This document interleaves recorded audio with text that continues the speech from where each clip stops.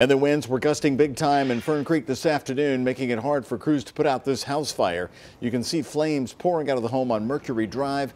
The assistant chief there, Dwayne Hutchins, says because of the wind gusts, the fire was more powerful and the house was engulfed in just minutes.